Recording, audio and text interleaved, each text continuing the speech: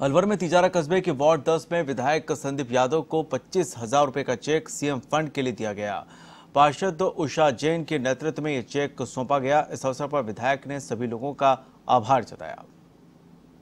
अंदर जो है, उनको चेक वितरण किया गया है। सरकार की तरफ़ से ढाई हज़ार रुपये ग्रामीण क्षेत्रों में भी दिया गया है।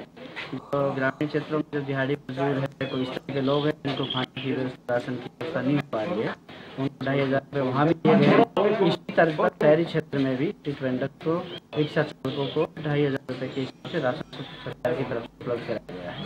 और उसी में यहाँ रखा था